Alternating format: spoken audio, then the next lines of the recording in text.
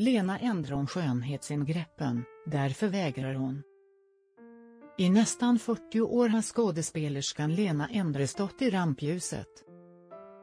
Nu berättar hon varför hon har vägrat göra skönhetsingrepp i alla år. Den folkkära skådespelaren Lena Endre, 68, har haft en lång och framgångsrik karriär. Hon har nominerats till en Guldbagge hela sju gånger och har medverkat i succéfilmer som Wallander och Göta kanal. Idag är Lena gift med maken Martin Wikström, 66. Från sitt tidigare förhållande har han barnen Rosanna Endre, 32, och Edvin Endre, 28, som även han är skådespelare. Och för snart två år sedan blev Lena mormor till barbarnet Aurora som fyller två år i november. Lena Endres stora barnbarnslycka. I en intervju med Aftonbladet talar hon ut om lyckan att få ha ett barnbarn och den gränslösa kärlek hon känner.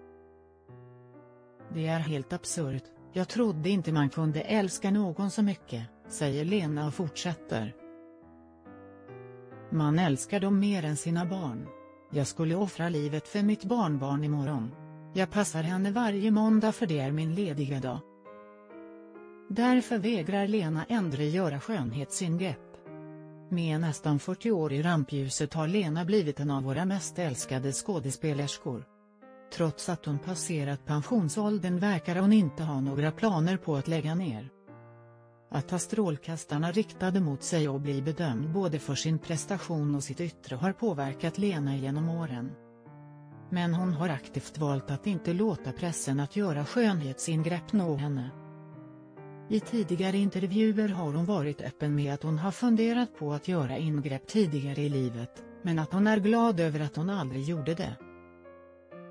Visst har jag också tänkt ett litet lyft här bara eller vaknat på morgonen och inte känt mig hemma i det grå men för ett tag sedan bestämde jag och en kollega att det fick vara slut med att färga året också.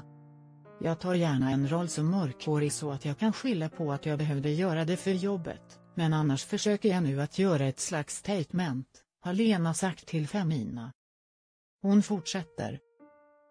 Jag gör allt för att inte färga håret, inte lyfta mig, inte spruta in grejer i läpparna, fylla i tuttarna och fettsuga låren. Man kan tycka att kroppen är för jävla taskig i den meningen att den följer gravitationens lagar, men det är ofrånkomligt. Det är någonting fint med att faktiskt värdigt få åldras.